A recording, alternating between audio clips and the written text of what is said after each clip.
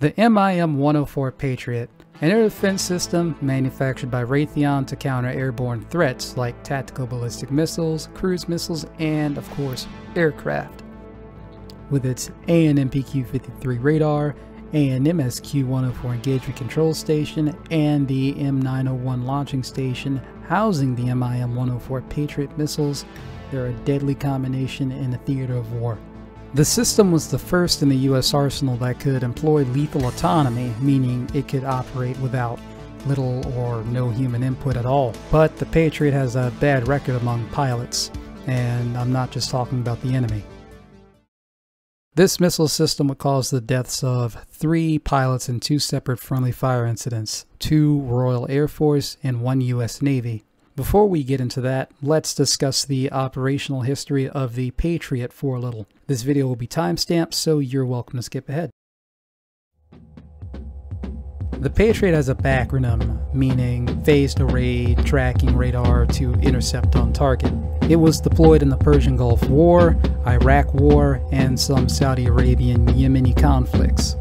During Operation Desert Storm in the Gulf War, the system allegedly engaged 40 Iraqi Scuds. These claims were met with controversy when late U.S. President George H.W. Bush said that the success rate was 97% in shooting these Scuds down, while a Theodore Postol stated saying that the success rate was well below 10%, maybe even zero. The missile's warhead, or debris, slammed into the barracks as troops were sitting down to dinner. The whole thing's gone. Everybody in it is either wounded or dead. How many people were inside? About 130 maybe.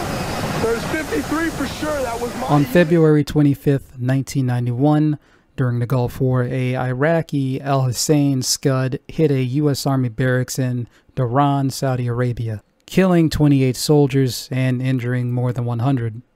The Patriot missile system operating near there failed to engage the Scud due to a glitch in the weapon control system, causing inaccurate tracking, which became worse the longer the system operated.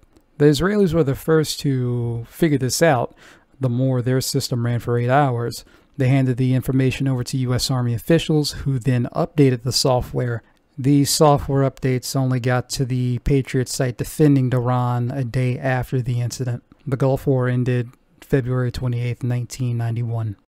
On February 24, 2018, a Syrian Su-24 NATO call sign fitter made its way one mile into Israeli airspace before being shot down by a Patriot missile.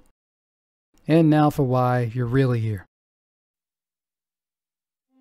On the 22nd of March 2003, a Royal Air Force Panavia Tornado GR-4A, known as Zulu Gulf 710, call sign Yahoo 75, prepares to take off from Ali Al Salem Air Base in Kuwait. The pilot is Flight Lieutenant Kevin Barry Main, and his navigator is Flight Lieutenant David Rhys Williams. They are participating in Operation Telic, flying as part of a package of coalition aircraft. Prior to engine start, the ground crew checks the systems, including the IFF system or Identification Friend or Foe. They confirm that it is working correctly. Kevin Main and David Williams take off, join the package, release their weapons, and return to Ali Al Salem. Unbeknownst to them, their return would be their demise. On the ground is a Patriot missile battery known as Battery Charlie from the 5th Battalion 52nd Air Defense Artillery. The system, operating autonomously, begins to track Yahoo 75. The system assumes that Yahoo 75 is an anti-radiation missile. This is due to the way they approach the airbase. The Patriot crew sees that Yahoo 75 is an anti-radiation missile and not a friendly aircraft. They begin to interrogate Yahoo 75, and there isn't a response. The Patriot crew determines that Yahoo 75 is a missile, and they pose a threat to the site and the people on the ground. Having met all parameters, they open fire. The missile intercepts Yahoo 75 and hits the aircraft, killing both Flight Lieutenant Kevin Main and David Williams instantly. There was no attempt made to eject. An RAF Board of Inquiry report was conducted in parallel with the U.S. Army investigations into the incident. Many factors contributed to the incident. The Patriot system identified ZG-710 as a anti-radiation missile the way it approached the base. The Patriot crews are trained to open fire in self-defense, react quickly, and engage and trust the Patriot system. If the Patriot crews had delayed firing, ZG-710 would have been reclassified as its flight path changed. The Patriot system was also lacking communication equipment for a quote-unquote bigger picture of the airspace for situational awareness. Before the engagement, ZG-710's IFF transponder had a fault. There were procedures put in place if an aircraft's IFF transponder stopped working. But Kevin Main and David Williams had no way of knowing if theirs wasn't working.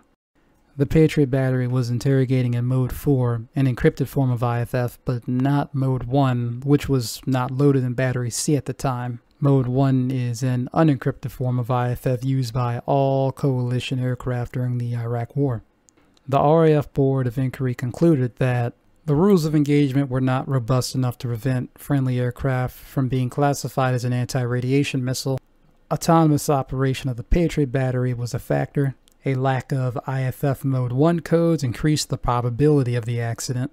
Airspace routing, airspace control measures, and a breakdown in planning and communications were a contributing factor, and further work should be conducted to research the failure modes, reliability, and serviceability of the Tornado IFF system, and many more. If you'd like to read up on the actual report, I'll leave it in the description below. Just two days later, another incident would occur with a Patriot site, but this time it wasn't shooting, it was being shot at. There's not much information about this, but an F-16 CJ was flying over Najaf in Iraq when he's locked up by a Patriot site. The Patriot site is Battery Echo from the 5th Battalion 52nd Air Defense Artillery. The pilot, believing he's being targeted by an Iraqi missile site, takes action.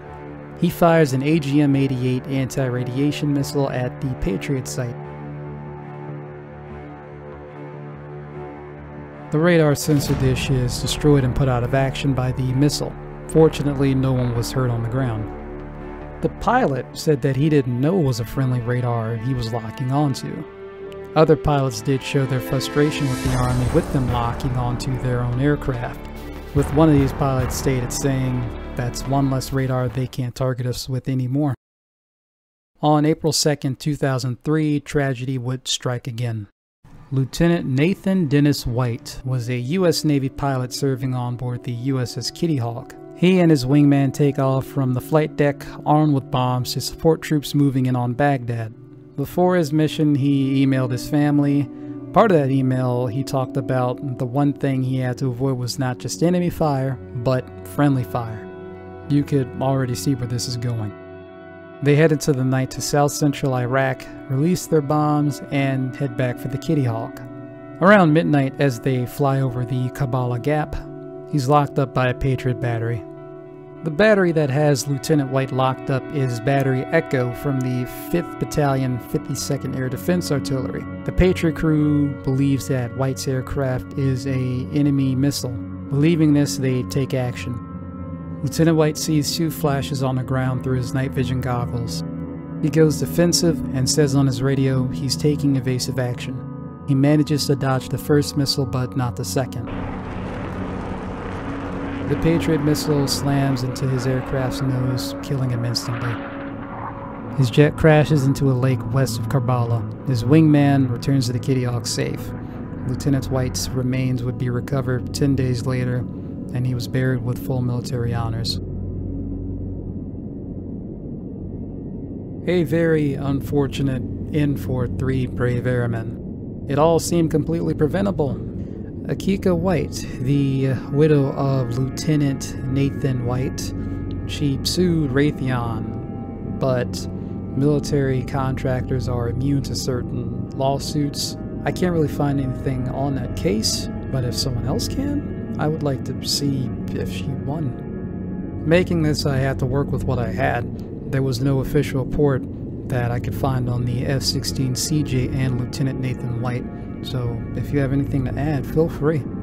If you enjoyed, you know what to do. If you didn't, you know what to do. I'll see you in the next one.